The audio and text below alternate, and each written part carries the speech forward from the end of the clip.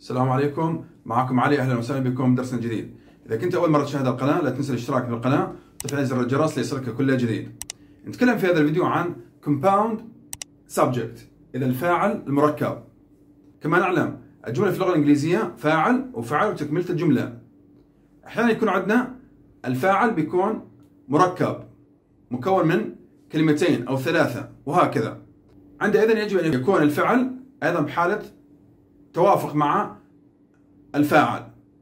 أحيانا بيكون عندنا أيضا الفاعل مركب لكن يكون الفعل أيضا نستخدمه بحالة المفرد. نتابع في هذا الفيديو درس مهم جدا من أساسيات اللغة الإنجليزية. كما نعلم الجملة في اللغة الإنجليزية بيكون عندنا فاعل بعدين عندنا فعل تكملة الجملة. اذا فاعل وفعل وتكملة الجملة. مثلا the players are happy لاحظ الفاعل وحيد ليس compound subject إذا ليس اسم أو ليس فاعل مركب بينما لاحظ the players subject are verb happy complement تكملة الجملة الفاعل المركب بيكون عبارة عن كلمتين أو أكثر. موصولة ب conjunction اسم. موصول أو حرف عطف كما نعرف يكون عندنا and or nor. إذا عندئذ بيكون هذا مركب. مثلا the players and the students are happy. إذا اللاعبين والطلاب يكونوا سعداء. إذا لاحظ هذا يصبح عندنا compound subject. إذا فاعل مركب. لأنه عندنا اسمين مربوطة أو موصولة ب conjunction هو and.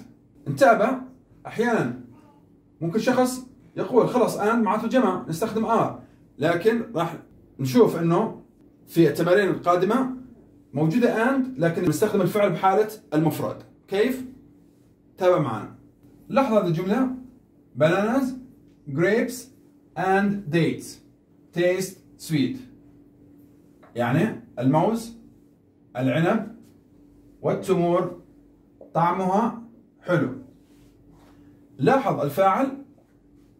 هذا يعتبر الفاعل. ثلاث كلمات. إذا bananas, grapes and dates. إذا جميعها تعتبر الفاعل. Taste هي الفعل sweet هي complement تكملة الجملة. هذا نسميه إحنا compound subject فاعل مركب. لأنه عندنا مؤلف من أكثر من كلمتين وفي conjunction يعني اسم موصول أو حرف عطف هو and. ننتبه لا نقول bananas and grapes and dates دائما إذا كان عندنا قائمة من أسماء أو قائمة من أفعال أو قائمة من صفات فقط آخر اسمين أو فعلين أو صفتين and وقبلها نضع فاصلة. لاحظ هنا وضعنا كما فاصلة وضعنا هنا and. استخدمنا الفعل بحالة الجمع. لماذا؟ لأنه عندنا الفاعل هنا جمع. بعد هذا التمرين لاحظ أيضا موجودة and لكن الفعل بحالة المفرد. That famous writer and player is going to read his new story. يعني نبدأ من عند الفعل. سوف is going to سوف يقرأ. ذاك اللاعب والكاتب المشهور قصته الجديدة. إذا دائما عندما ترجم نبدأ من عند الفعل هذا نلاحظ بالمستقبل. كما نعلم درس سابق اللي يحب يرجع عليه الفيوتشر مستقبل يكون عندنا ويل والفعل بالتصريف الأول أو يكون عندنا بي فعل كون going to والفعل بالتصريف الأول. إذا is going to read. إذا هذه هي الفعل. نلاحظ الفاعل that famous writer and player. ممكن شخص يقول عندنا and معناته يكون عندنا جمع. وهذا خطأ يعني plural. لماذا؟ لأنه that famous writer and player ذاك الكاتب واللاعب الشهير يعود على شخص أو يعود إلى شخص واحد. مثلا أحمد. أحمد يكون كاتب ولاعب معناته مفرد. عندئذ نستخدم is لا نقول are هذا خطأ. وأيضا that لاحظ that دائما نعلم أنه that يأتي بعدها is مفرد. أيضا this يأتي بعدها مفرد. عندنا those بيكون عندنا جمع. these بيكون أيضا جمع. أيضا هذا that تعتبر مفرد نستخدم is أيضا الشيء الثالث his new story قصته الجديدة. أيضا his تستخدم ضمير ملكي من هي. هي مفرد. عندئذ نستخدم فعل كون بحالة المفرد وليس حالة الجمع. إذا that famous writer and player is going to read his new story. إذا هذا بيكون compound subject. فاعل مركب موجودة and واسمين لكن يعامل معاملة المفرد لأنه يدل على شخص واحد. Peanut and jelly fills me at lunch. يعني الفول السوداني والجلي أو الهلام أو حلوى الجلي fills me شبعتني أو ملأتني at lunch عند الغداء أو عند تناول طعام الغداء. لاحظ استخدمنا. s المفرد الغائب لماذا؟ لأنه الجلي والفول السوداني بيكون طبق طبق واحد one dish. إذا طبق واحد يعني مفرد يعني it. عندئذ نستخدم s المفرد الغائب. نعامل معاملة المفرد. لا نقول and. بيكون عندنا يعني اسمين. بيكون جمع. عندئذ نستخدم الفاعل بيكون بحالة الجمع. يعني يتوافق مع الفاعل بحالة الجمع وهذا خطأ. الفاعل صح مركب لكنه يعامل معاملة المفرد لأنه عبارة عن مندج طبق واحد. عندئذ نضيف s المفرد الغائب. اعتبرنا peanut and jelly طبق واحد يعني it عندئذ نضيف s المفرد الغائب. لدينا قاعدتين or nor نستخدم neither. إذا لدينا قاعدتين or neither nor بيكون عندنا الفعل بحالة المفرد. الحالة الأولى the soup the bread or the salad is served first. يعني الحساء الخبز أو السلطة تقدم أولا. Is served يعني تقدم أو تخدم أولا. لاحظ أيضا or إذا كان عندنا قائمة أشياء أسماء نضع or قبلها بيكون عندنا فاصلة. لاحظ استخدمنا كما لدينا or بهذه الحالة نستخدم فعل كون is حالة المفرد. حتى لو كان عندنا compound subject اسم مركب لاحظ أكثر من اسم لكن نستخدم is وليس are. لماذا عندنا or neither أحمد nor Mary has many books. لا أحمد ولا ماري لديهم العديد من الكتب. Neither دائما عندنا يكون عندنا neither أو neither. وبعدها nor. بهذه الحالة يكون الفاعل مفرد بالتالي نستخدم الفعل بحالة المفرد. يجب أن توافق الفعل مع الفاعل. لا نقول have. إذا هذا خطأ.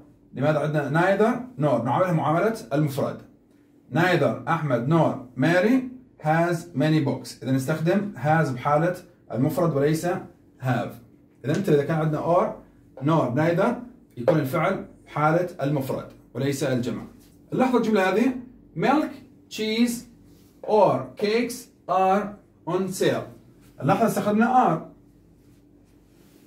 الجملة الثانية. Cakes milk and cheese is on sale. استخدمنا is. ممكن شخص بيقول كيف؟ نفس الجملة استخدمنا are استخدمنا is. لكن انتبه milk cheese or cakes. لاحظ هنا استخدمنا cakes. قبل الفعل فعل الكون. بينما هذه الجملة cakes milk and cheese. قبل الفعل أتت cheese.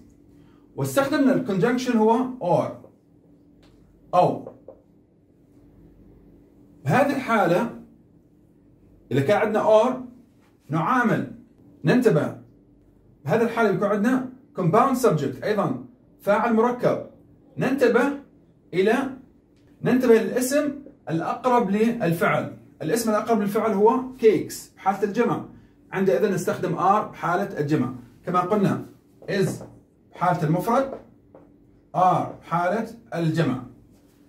لاحظ الاسم الأقرب للفعل هو cakes عندئذ يكون نستخدم are بينما هذه الجملة الاسم الأقرب هو تشيز تشيز مفرد. عندئذ نستخدم فعل الكون is. الجملتين لها نفس الترجمة يعني الكعك والحليب والجبنة في يعني يكون تنزيلات أو فيها تنزيلات. إذا كلا جملتين نفس المعنى لكن لاحظ هنا عندنا or وأيضا هنا or. بهذا الحال انتبه للاسم الأقرب للفعل. الاسم الأقرب للفعل هنا cakes بحالة الجمع. عندما يكون الفعل كون بحالة الجمع. بل الجملة الثانية بيكون cheese أيضا بحالة المفرد. عندئذ نستخدم is بحالة المفرد وليس are إذا انتبه إذا كان عندنا or في الجملة الاسم اللي بعدها بيكون بحالة الجمع يكون توافق بين الفاعل والفعل. وأيضا بالحالة الثانية بيكون الاسم مفرد أيضا بيكون توافق بين الاسم إذا كان مفرد والفاعل. هنا يكون جمع نستخدم فعل كون بحالة الجمع. بهذه الحالة يكون مفرد نستخدم فعل كون بحالة المفرد. لاحظ هذين الجملتين. Neither أحمد nor his parents enjoy enjoys romantic films. إذا لا أحمد ولا والديه يستمتعون بالأفلام الرومانسية. لاحظ من نشوف neither nor على طول بيكون بعدها يكون الفعل بحالة المفرد. لا نقول parents حالة الجمع. نستخدم enjoy. إذا نستخدم enjoys نضع الفعل s s المفرد الغائب. إذا في عندنا neither nor بيكون الفعل نعمله معاملة المفرد. نستخدم enjoys. The writer and producer speak speaks her mind. يعني الكاتبة والمنتجة تتحدث أو تتكلم عن أو فيما يدور في عقلها. Her mind. بهذه الحالة لاحظ. The writer and producer هي شخص واحد. إذا فتاة واحدة أو أمرأة واحدة. إذا شخص واحد يعني شيء لماذا؟ لأنه عندنا هير لو كان جمع بيكون عندنا نستخدم their لو شخصين مختلفين. لكن شخص واحد لماذا؟ لأنه عندنا هير mind عقلها معناته شيء عندئذ أيضا بيكون الفعل حالة المفرد وليس حالة الجمع. لو كان عندنا their minds عقولهم عندها إذا بيكون the writer شيء شخص وبروديوسر شخص آخر بيكون بحالة الجمع.